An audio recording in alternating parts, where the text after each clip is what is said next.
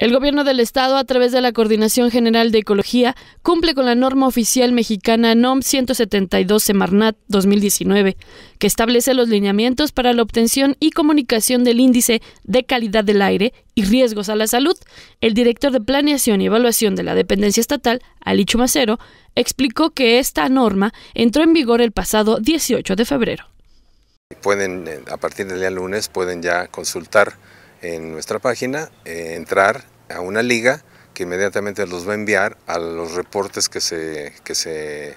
transmiten al SINAICA, al Centro Nacional de Información de Calidad del Aire, que son los mismos datos que se generan en las estaciones Tlaxcala. Eso lo puede hacer cualquier ciudadano, simplemente en internet, una computadora, inmediatamente va a conocer por colores ya la información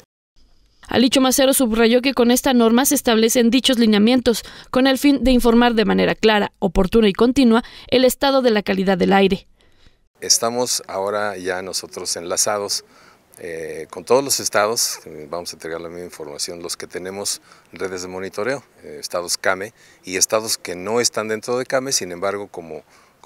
Nuevo León, como Campeche, como Ciudad Juárez, como Sonora, que tienen estaciones de monitoreo, también tienen, que hacerlo conducente.